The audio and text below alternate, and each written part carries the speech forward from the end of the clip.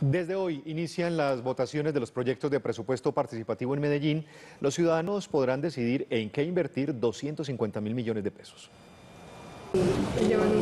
Las votaciones estarán disponibles hasta el 29 de septiembre en la plataforma www.medellindecide.co. La ciudadanía podrá votar por más de 300 propuestas priorizadas. Cada comuna tiene proyectos diferentes de acuerdo a sus necesidades. Hay proyectos que se repiten, por ejemplo, vuelven a salir en el tarjetón los computadores de PP. Este año entregamos 11.800 gracias a priorización.